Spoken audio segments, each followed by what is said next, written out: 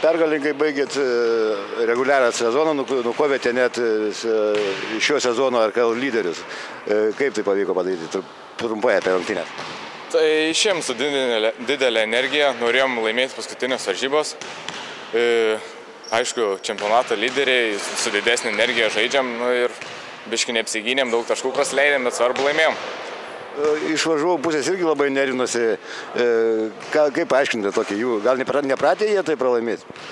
Net, tai žinot, jie tik tai keturis pralaimėjimus turėjo, tai nenorėjo paskutinių varžybų užbaigti, nes dvi savaitės dabar turės pertrauką, tai norėjo laimėti, žinoma, tai dėl to taip ir kovomės.